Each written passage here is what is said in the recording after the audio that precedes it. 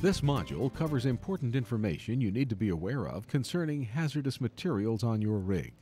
It also discusses hot work and the job of a fire watcher.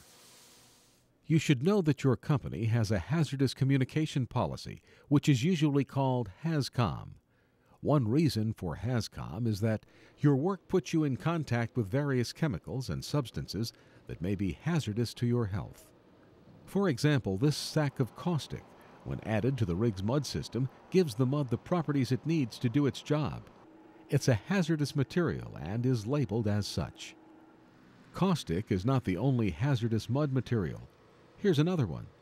Notice that it too has a label that clearly identifies it as hazardous. You'll use solvents on the job as well, for instance, to clean pipe threads. It's clearly labeled to tell you what it is and what its hazards are. The fuel the rig's engines use, usually it's diesel, is not only hazardous because it is combustible, but also because prolonged exposure to it may irritate your skin, eyes, and lungs. As part of your company's HAZCOM policy, and to keep you informed of the hazardous materials you may encounter, your company maintains a readily available binder or book that contains Material Safety Data Sheets, or MSDS for short. Learn where the MSDS is located for your job site. An MSDS exists for the hazardous substances you may come into contact with at your drill or work site. For example, this is an MSDS for number 2 diesel fuel, the stuff the rig engines run on. Typically, it gives the manufacturer's name, address, and phone numbers. It also gives synonyms for the fuel, other names it might go by. An important part is the hazards and precautionary measures section. For instance, it shows that diesel can irritate the skin and that it should not be swallowed because it can damage lungs. In general, an MSDS names and identifies the product, providing an emergency overview, information on the ingredients, health effects, first aid measures, personal protective equipment required, firefighting measures, accidental release measures, plus additional informative sections. When you want to know more about any material you handle, don't hesitate to look it up in the MSDS binder. That's what it's for. Pay particular attention to the section on personal protection. For diesel fuel, for example, the MSDS notes that respiratory protection, gloves and arm protection, and eye protection may be needed.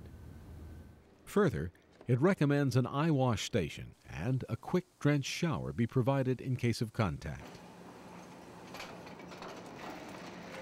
Hot work is another item you need to know about. Hot work is welding, metal cutting, or grinding, any job that makes sparks or creates high temperatures that could start a fire. To carry out hot work on the rig, the welder or person doing the work that makes sparks must obtain a hot work permit.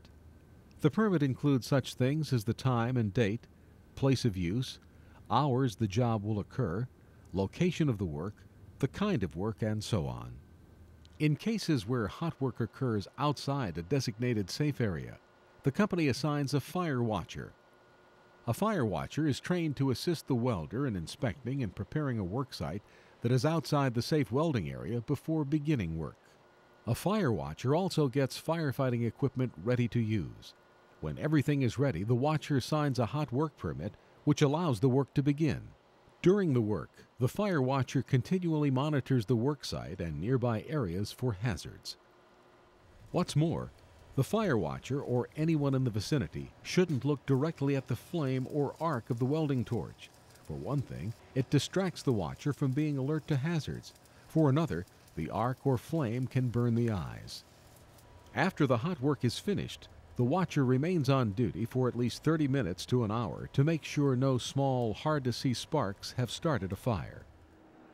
Keep in mind that over the course of your work on the rig, your supervisors are not only going to give you on the job training, but also emergency training as well. For instance, these crew members are assembled for an emergency drill.